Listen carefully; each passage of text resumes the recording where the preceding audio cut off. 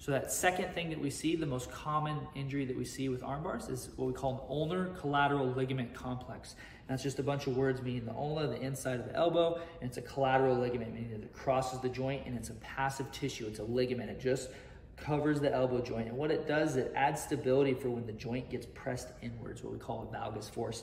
So if there's a force on the outside of the elbow and the joint itself is getting stressed and twisted and pushed on the inside, that collateral ligament keeps it stable and holds it in place. And so what ends up happening with an arm bar, it's a hyperextension injury, so we get that bony joint on joint like we just talked about. But the other thing that happens is we get pressure typically because how people are running arm bars, we get pressure in that valgus and we get overstretching through the inside of that elbow joint.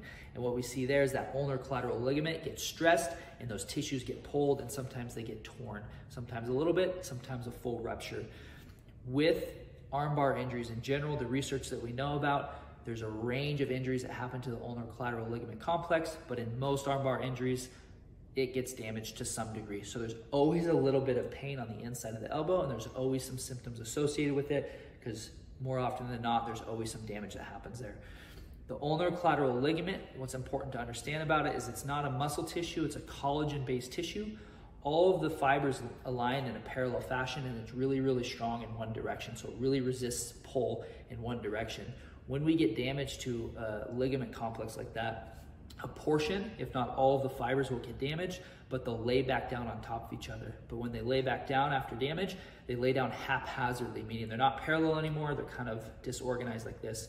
What ends up happening and what causes a chronic pain state in a lot of these arm bars, and that's why if you leave it, it doesn't go away, it just lingers and it gets injured easier and easier down the line, is that ulnar collateral ligament complex, it gets damaged, the fibers lay down haphazardly, so now from before, if you had a certain capacity for that ligament to handle force, when they're all straight, now that certain capacity drops from up here way down to here. And so it's a lot less strong when it's being pulled on. So it's much easier to re-damage and re-injure. So what happens is they get injured, the fibers lay down, and then we load the elbow again as we work back into training without rehabbing it, and it gets damaged again, and this process just repeats and repeats. If you don't do something about it, I've actually seen people that lose range of movement permanently in their elbow because those fibers, as they keep laying down, they scar up and they don't have the capacity that they did before.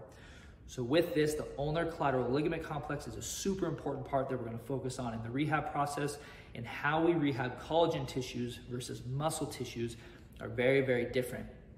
How we rehab them is through progressive overload. And why that's important is because when the tissues lay down haphazardly, the only thing that allows them to know how to lay back down parallel is putting force through those tissues. So we have to pull on it and show those tissues where we want them to be strong. Now the rub of it is if we overload it, so if we do too much, show them too hard where they need to pull, they'll damage again, they'll really lay back down haphazardly. If we don't load them enough, we don't have enough force to show them in which way they need to be strong, so maintain this position. So what we shoot for when we're rehabbing the ulnar collateral ligament complex is this Goldilocks zone or any collagen tissue for that matter. We shoot for this Goldilocks zone and we wanna load it enough that we start to get those fibers to realign and recourse and strengthen up in this direction, but we don't wanna overload it to where we get a new injury on it. The amount of loading is the tricky part because if you only damage say 10% of those fibers, you can handle a lot higher of a load and they'll realign versus say if you have a full rupture, it'll handle a much lower load before you re-injure it again. So part of that that we're gonna teach you is how to find that level that we need to load it at, what are the indicators to know we're doing it correctly, and how do we work in that Goldilocks zone so we get that ulnar collateral ligament tissues to realign to get super strong, and without pain, we get full function of our elbow back.